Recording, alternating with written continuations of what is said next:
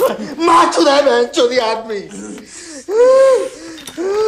नहीं साले, हम तुम्हारा इलाज कर रहे हैं। तुम हमारा गला दाब लिए।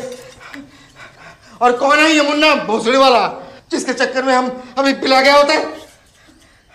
अरे शक्ल दिखाओ उसकी। हमसे मिलती है क्या? बस, हो गया।